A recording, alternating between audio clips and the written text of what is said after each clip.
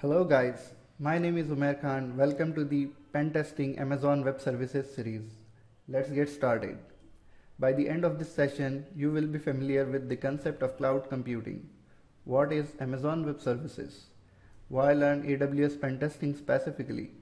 And in the end, we will create our AWS lab account using free tier AWS services. So what is cloud? PCMag defines cloud as hardware and software services from a provider on the internet. Basically, a cloud is someone else's data center from, from where you can use resources and pay them for it. Now, there are lots of cloud providers, for example, Microsoft Azure, Google Cloud, VMware, and OpenStack.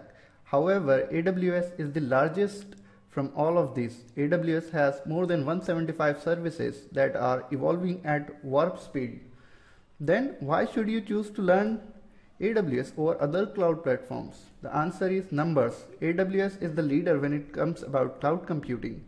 More than 60% of workload of cloud runs on Amazon Web Services. Need I say more? Apart from this, AWS offers 12 months of free access to many of its services in the form of its free tier account. We are going to leverage this facility as we move along with this series and practice all of the scenarios that we are going to do as we move along with this series. So here is the list of what you can get for free. Alright, let's move on and create an account finally. So here I'll show you how to create an account. You need to enter valid email ID here.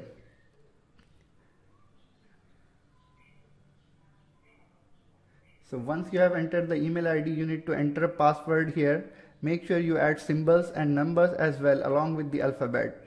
Add a name here that you want to give to your AWS account. Now AWS will take you to another page where you need to specify that this is your personal account and not the professional account. Add your phone number where you can also add multi-factor authentication letter. Add a country where you live in your street address then add your apartment number or flat number or the room number where you reside. Later you need to add the city where you reside add the state and then finally the postal code. So make sure you uh, enter the correct details. Make sure you read the terms and conditions of the AWS and then click the checkbox and create account and continue.